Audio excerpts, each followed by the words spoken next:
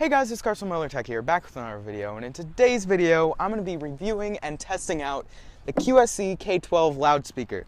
Now, this is a 1000 watt loudspeaker, and I just want to say now before getting into the rest of this video that this is a little bit more expensive than most things that I review on this channel, so you may want to check the description for how much money it is, but I'm gonna be testing it out and showing you how it sounds. So let's get into the video. So first off, portability of this thing. This thing has a handle on the top and on the side, and weighs in at a pretty light 41 pounds for speaker of this size. Now, as I already said, it has a 1000 watt driver in it with a class D type amplifier in it and has a 12 inch woofer and a one inch tweeter on top. So with these multiple handles, it makes it simple for putting onto stands and makes it quite easy for carrying around like I already said.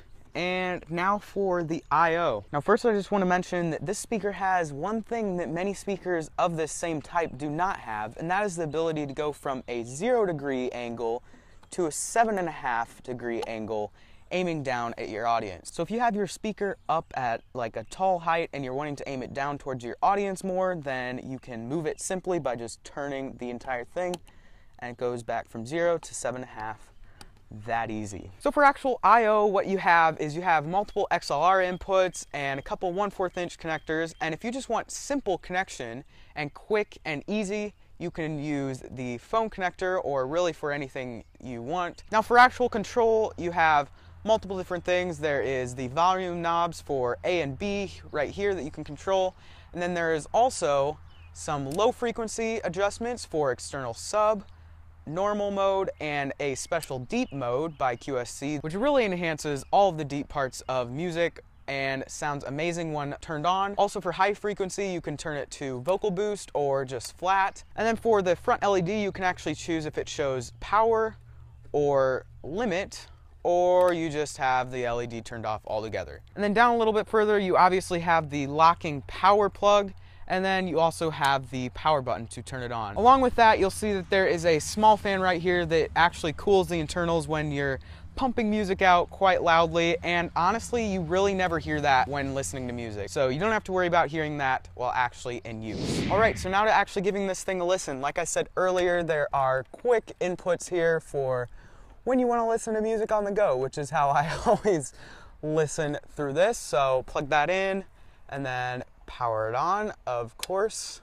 And then the settings that I'm going to be using is I'm going to be using flat and then deep mode because why not? Now for actual volume, I'm going to be turning this thing up only a fourth of the way because this thing packs a loud 131 decibels when turned fully up. So uh, I kind of don't want my neighbors hating me today. So let's get into actually listening to some music. I'm going to be playing Cold Hearted by Bryce Fox go and click the description below to find the song yourself if you want to listen to it. So as you can hear already, it's quite loud.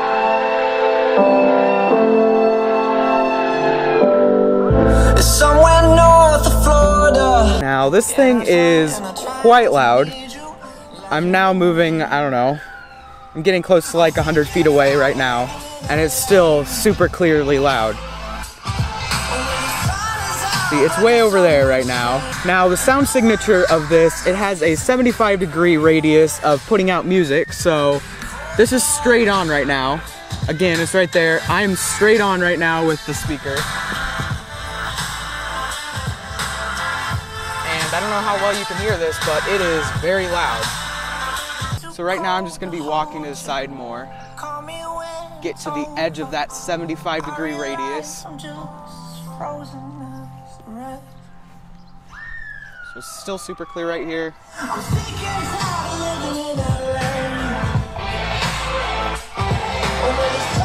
Getting to the edge now.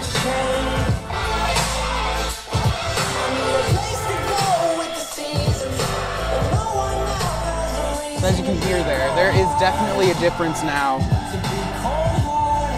when moving outside of that radius, but still sounds really good.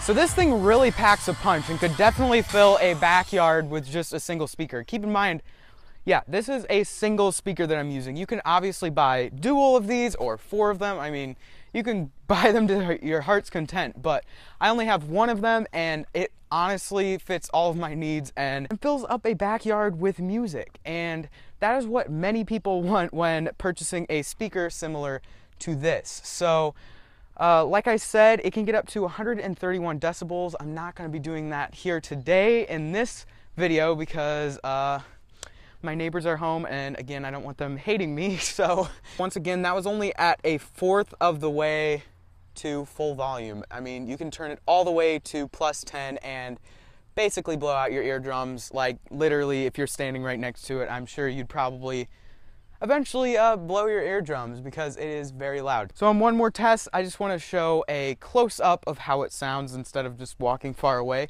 if you're wanting to listen. So I'm to be doing a little bit of an audio test right here and you guys can listen to it up close. Both my wings are frozen, cold like Minnesota, between the borders with the rest.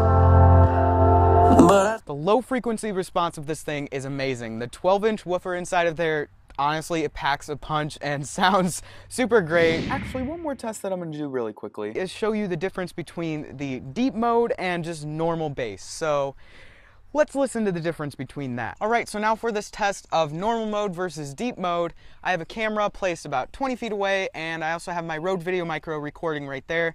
And I obviously, I have a lav mic right here, but uh, I'm going to be doing the sound through the Rode Video Micro, so hopefully you can hear a difference. If not, believe me, in person you can definitely hear a difference. So first off, I'm going to be playing the song with normal mode on instead of deep mode. Okay, so this first mode, like I said, is normal.